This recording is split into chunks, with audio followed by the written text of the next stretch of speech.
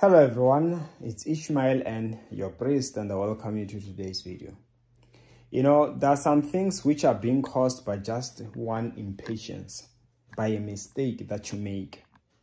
Just because Sarah could not wait any longer, could not trust enough, she permitted Abraham to sleep with Hagar.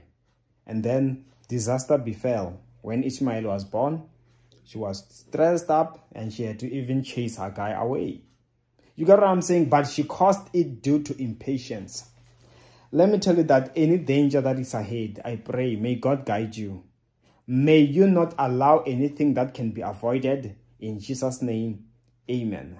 And of course, you can book an appointment with me. My details are on the description of the video below. See you then.